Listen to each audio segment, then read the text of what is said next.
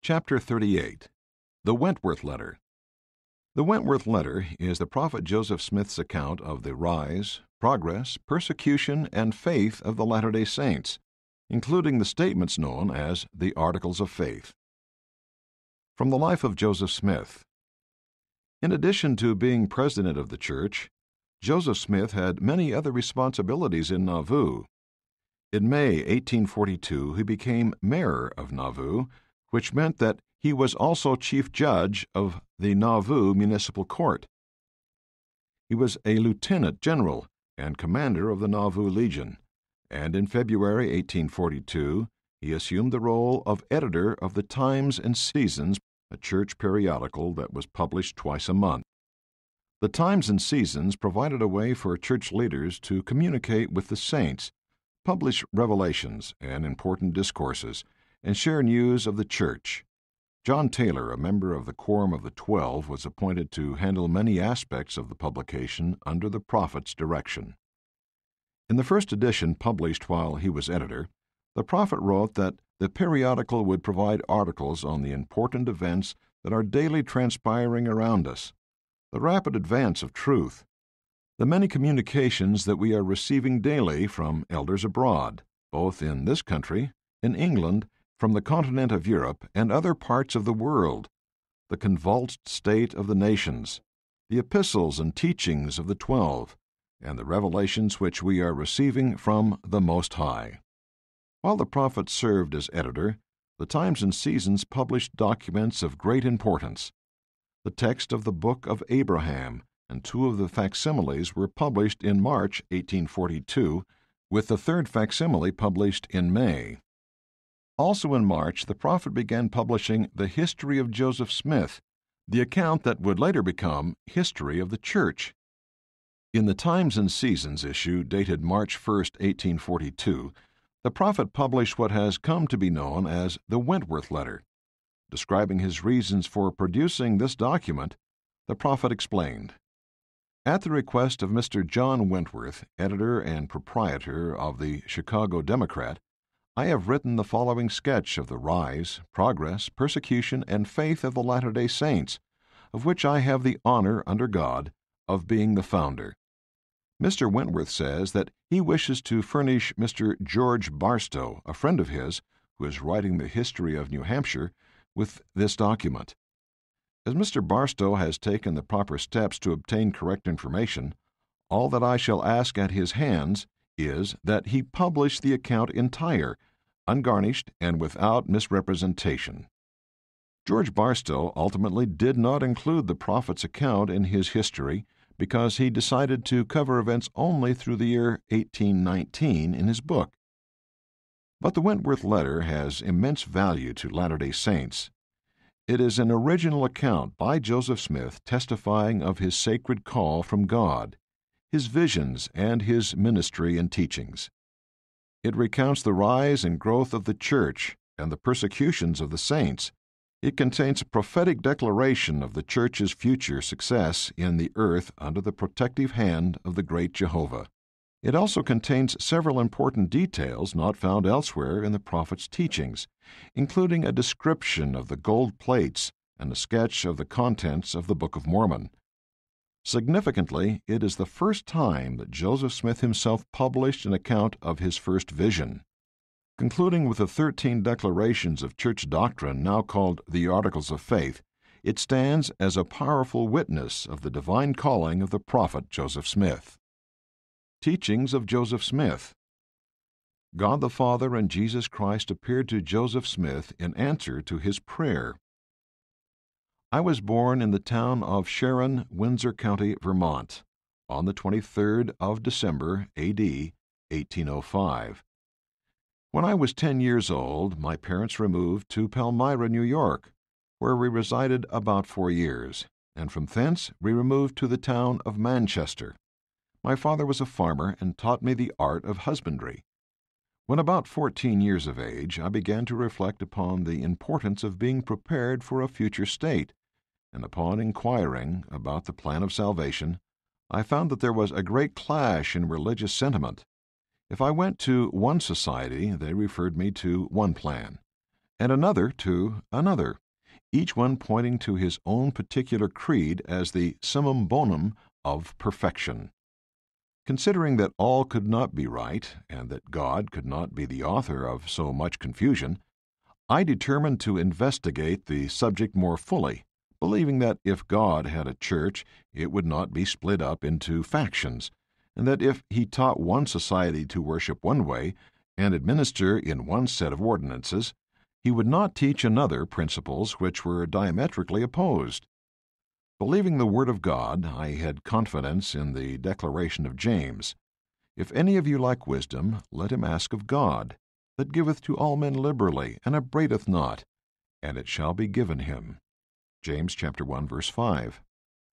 I retired to a secret place in a grove and began to call upon the Lord. While fervently engaged in supplication, my mind was taken away from the objects with which I was surrounded, and I was enwrapped in a heavenly vision, and saw two glorious personages, who exactly resembled each other in features and likeness, surrounded with a brilliant light which eclipsed the sun at noonday. They told me that all religious denominations were believing in incorrect doctrines, and that none of them was acknowledged of God as His church and kingdom and I was expressly commanded to go not after them, at the same time receiving a promise that the fullness of the gospel should at some future time be made known unto me. The Book of Mormon was written anciently upon gold plates and delivered to Joseph Smith by a divinely sent messenger. On the evening of the 21st of September, A.D. 1823, while I was praying unto God and endeavoring to exercise faith in the precious promises of Scripture, on a sudden a light like that of day, only of a far purer and more glorious appearance and brightness, burst into the room. Indeed, the first sight was as though the house was filled with consuming fire. The appearance produced a shock that affected the whole body, in a moment a personage stood before me, surrounded with a glory yet greater than that with which I was already surrounded. This messenger proclaimed himself to be an angel of God, sent to bring the joyful tidings that the covenant which God made with ancient Israel was at hand to be fulfilled, that the preparatory work for the second coming of the Messiah was speedily to commence, that the time was at hand for the gospel in all its fullness to be preached in power unto all nations, that a people might be prepared for the millennial reign. I was informed that I was chosen to be an instrument in the hands of God to bring about some of His purposes in this glorious dispensation. I was also informed concerning the aboriginal inhabitants of this country, and shown who they were and from whence they came, a brief sketch of their origin, progress, civilization, laws, governments, of their righteousness and iniquity, and the blessings of God being finally withdrawn from them as a people, was made known unto me. I was also told where were deposited some plates on which were engraven an abridgment of the records of the ancient prophets that had existed on this continent. The angel appeared to me three times the same night, and unfolded the same things after having received many visits from the angels of God, unfolding the majesty and glory of the events that should transpire in the last days, on the morning of the 22nd of September, A.D. 1827, the angel of the Lord delivered the records into my hands. These records were engraven on plates which had the appearance of gold. Each plate was six inches wide and eight inches long, and not quite so thick as common tin. They were filled with engravings in Egyptian characters and bound together in a volume as the leaves of a book, with three rings running through the whole. The volume was something near six inches in thickness, a part of which was sealed. The characters on the unsealed part were small and beautifully engraved. The whole book exhibited many marks of antiquity in its construction, and much skill in the art of engraving. With the records was found a curious instrument, which the ancients called Urim and Thummim, which consisted of two transparent stones set in the rim of a bow fastened to a breastplate. Through the medium of the Urim and Thummim, I translated the record by the gift and power of God. This book tells us that our Savior made his appearance upon this continent after his resurrection, that he planted the gospel here in all its fullness and richness and power and blessing, that they had apostles, prophets, pastors, teachers, and evangelists, the same order, the same priesthood, the same ordinances, gifts, powers, and blessings as were enjoyed on the eastern continent, that the people were cut off in consequence of their transgressions, that the last of their prophets who existed among them was commanded to write an abridgment of their prophecies, history, and so forth, and to hide it up in the earth, and that it should come forth and be united with the Bible for the accomplishment of the purposes of God in the last days. For a more particular account, I would refer to the Book of Mormon, which can be purchased at Nauvoo or from any of our traveling elders. As soon as the news of this discovery was made known, false reports, misrepresentation, and slander flew as on the wings of the wind in every direction. The house was frequently beset by mobs and evil designing persons. Several times I was shot at, and very narrowly escaped, and every device was made use of to get the plates away from me. But the power and blessing of God attended me, and several began to believe my testimony. Although persecution may rage against the church, nothing can stop the progress of truth.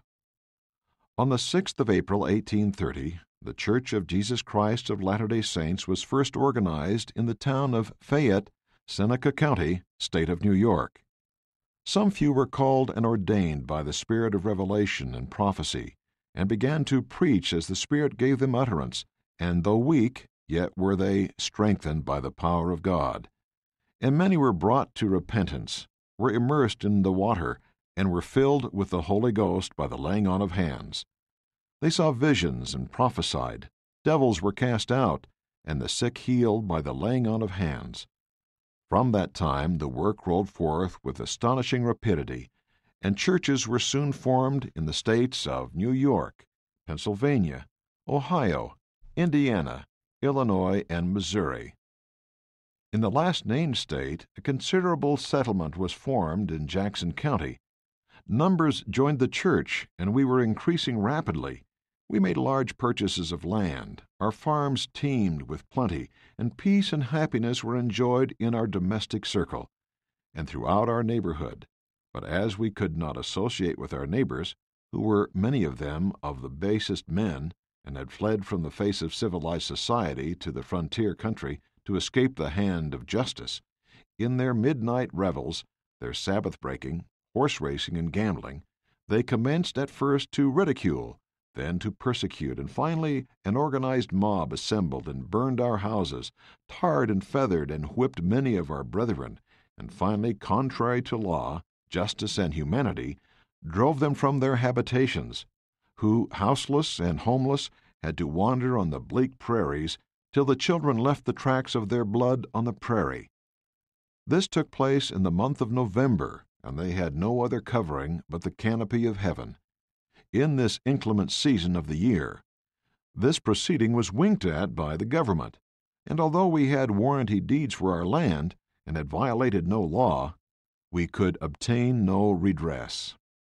There were many sick who were thus inhumanly driven from their houses, and had to endure all this abuse and to seek homes where they could be found.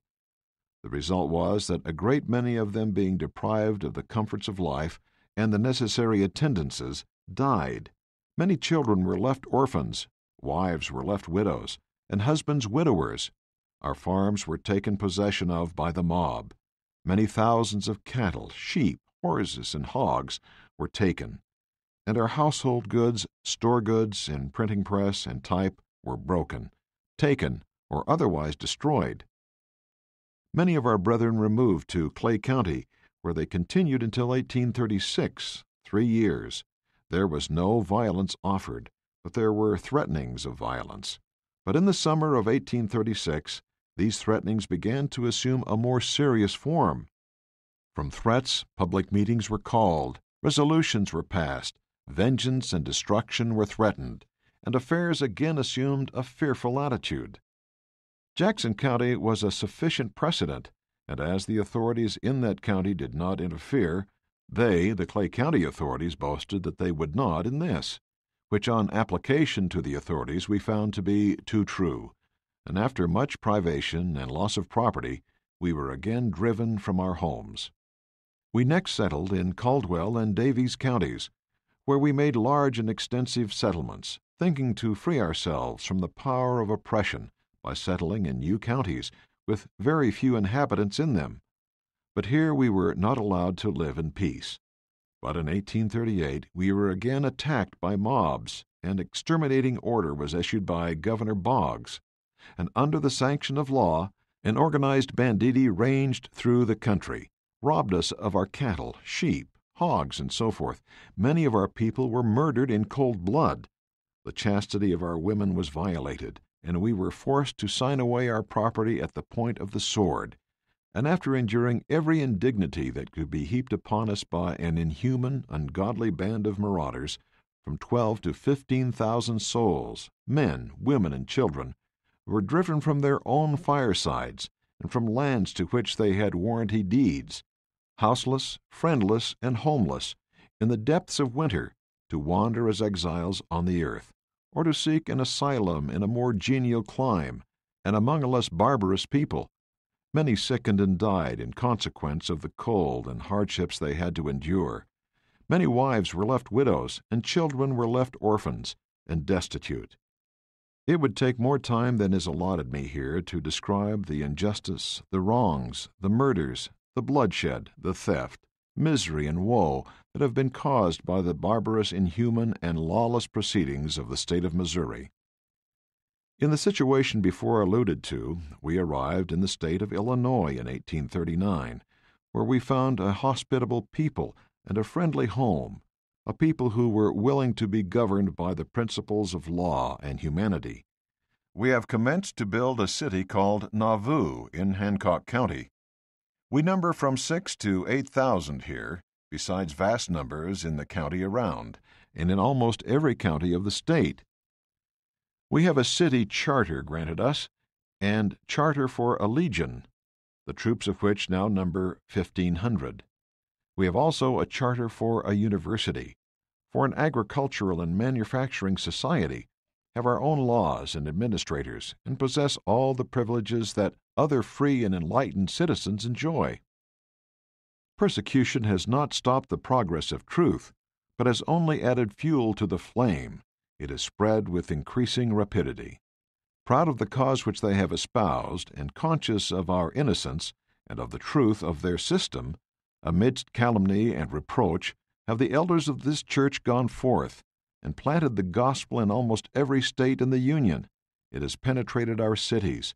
It has spread over our villages and has caused thousands of our intelligent, noble, and patriotic citizens to obey its divine mandates and be governed by its sacred truths. It has also spread into England, Ireland, Scotland, and Wales, where in the year 1840 a few of our missionaries were sent and over 5,000 joined the standard of truth. There are numbers now joining in every land. Our missionaries are going forth to different nations, and in Germany, Palestine, New Holland, Australia, the East Indies, and other places, the standard of truth has been erected. No unhallowed hand can stop the work from progressing. Persecutions may rage, mobs may combine, armies may assemble, calumny may defame, but the truth of God will go forth boldly, nobly, and independent, till it has penetrated every continent, visited every clime, swept every country, and sounded in every ear, till the purposes of God shall be accomplished, and the great Jehovah shall say, The work is done. The Articles of Faith describe fundamental doctrines and principles of our religion. We believe in God the Eternal Father, and in His Son Jesus Christ, and in the Holy Ghost. We believe that men will be punished for their own sins, and not for Adam's transgression. We believe that through the atonement of Christ all mankind may be saved by obedience to the laws and ordinances of the gospel. We believe that the first principle and ordinances of the gospel are 1. Faith in the Lord Jesus Christ, 2. Repentance, 3. Baptism by immersion for the remission of sins, 4. Laying out of hands for the gift of the Holy Ghost.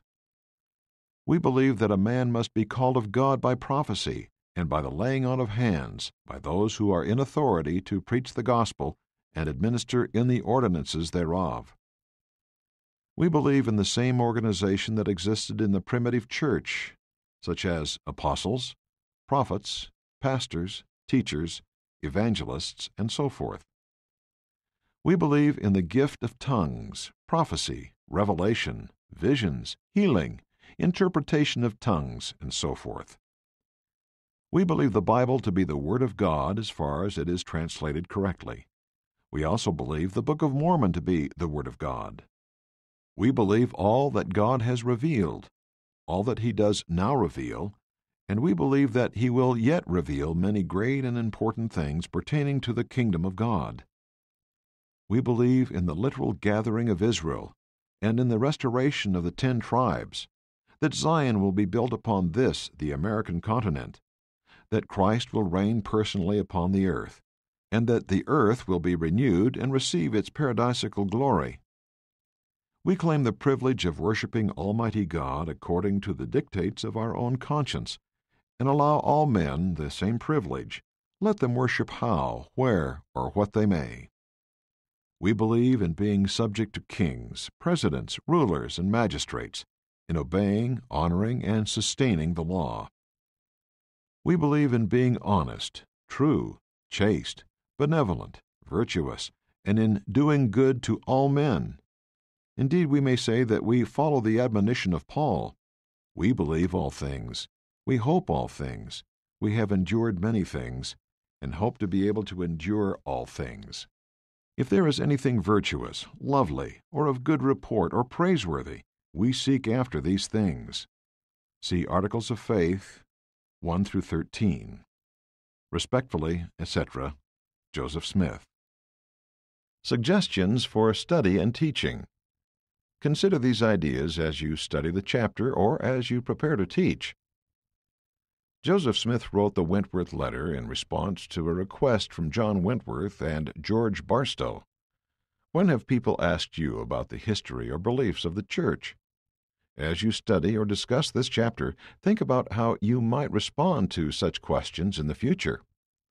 What can we learn from Joseph Smith's words in the Wentworth letter about how to respond to such questions? Read what the prophet said about his first vision. The next time you tell someone about the first vision, how might you help that person understand the first vision and what it means to you? Read the prophet's description of the coming forth of the Book of Mormon. What difference has the Book of Mormon made in your life? What are some ways we can share our testimonies of the Book of Mormon? In the Wentworth letter, Joseph Smith gives a brief history of the beginnings of the church and then testifies of the church's destiny. What are your feelings as you study it? Why do you think persecution is unable to stop the church's progress? What are some examples of people progressing despite opposition? Consider examples from the Scriptures church history, and your own life. Review the Articles of Faith. In what ways have the Articles of Faith helped you? Why do you think we ask primary children to memorize them? Consider organizing a schedule so you can study or memorize the Articles of Faith. Related Scriptures. Joseph Smith, History 1, verses 1 through 75. End of chapter 38. The Wentworth Letter.